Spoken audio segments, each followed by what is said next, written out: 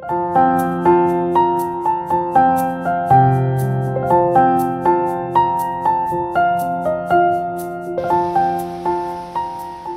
কোনো বেয়ারার হাগডা কিংবা কাস্টমারের ফুড ফরমাস কিংবা মাথার উপর নেই কোনো ছাদ। কিন্তু নামটি আবার ভালো কাজের হোটেল। শুরুতেই চমকে যেতে হয়। এ আবার কেমন হোটেল? রাজধানীর বাসাবো বাসস্ট্যান্ড সংলগ্ন ফুটপাত ঘেঁষা দেয়াল লিখনের মাধ্যমে জানান দেয় হোটেলটির অস্তিত্ব।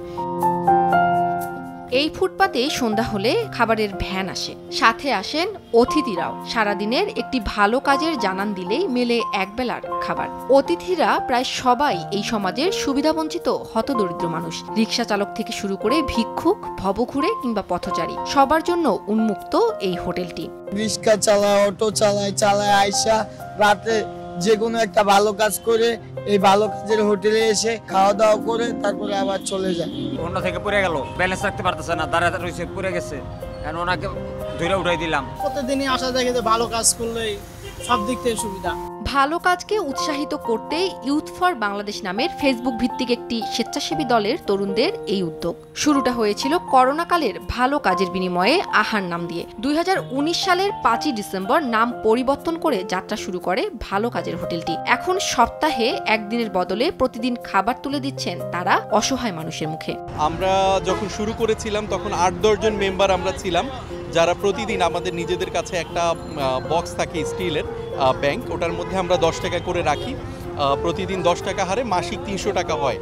তো এখন কিন্তু আমরা, আমাদের এই যে ডেলি টেন মেম্বার বলি, এটা কিন্তু প্রায় তেইশশো জনের উপরে আমাদের এই মেম্বার সংখ্যা এবং আমাদের কিছু শুভাকাঙ্ক্ষী আছে, তাদের সাপোর্টে এবং মেম্বারদের অর্থায়নেই কিন্তু আমাদের এই কার্যক্রমগুলি চলছে। যখন এটা আমরা শুরু করি, তখন আমরা নাম দিয়েছিলাম ভালো কাজের বিনিময় আহার। বাট আসলে এই যে যারা দেখছেন যে খায়, ওরাই কিন্তু নাম দিয়েছে ভালো কাজের হোটেল। মানে এই কারণে ওদের নামটাই কিন্তু আসলে এরপরে হয়ে গিয়েছে যে ভালো কাজের হোটেল। আমাদের ঢাকার মধ্যে যে হোটেলগুলো আছে আমরা প্রত্যেক দিন অল্টারনেট করে ভলেন্টিয়ার আসি।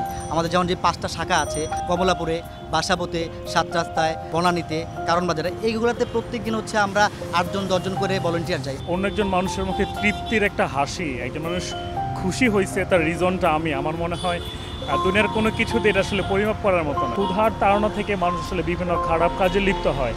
আমরা মূলত এই চিন্তা থেকে আমাদের এখানে খেতে হলে এই চেনটা আসলে চালু করা। সমাজের অবস্থাপন্নরাও এমন উদ্যোগে এগিয়ে আসবেন সেই প্রত্যাশাই এই তরুণদের। উম্মেহানি সময় সংবাদ।